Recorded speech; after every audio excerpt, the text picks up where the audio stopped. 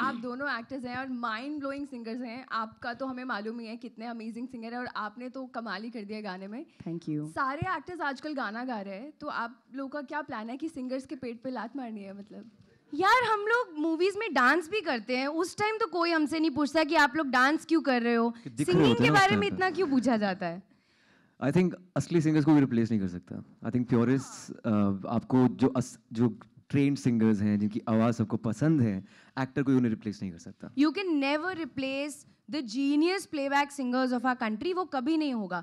But it is a medium of the performing arts we like to act we like to sing we like to dance we like to do comedy we like to do all kind of things which come under the umbrella of performing arts तो वो अगर हमको शौक है तो we like to entertain you you know but उसका मतलब ये नहीं है कि अगर मैं डांस कर रही हूँ तो मैं सब डांसर्स को बोल रही हूँ, आप मत करो या we are not here to replace at all but I think the audience is become so accepting of sing actors singing that why not if we like doing it why wouldn't we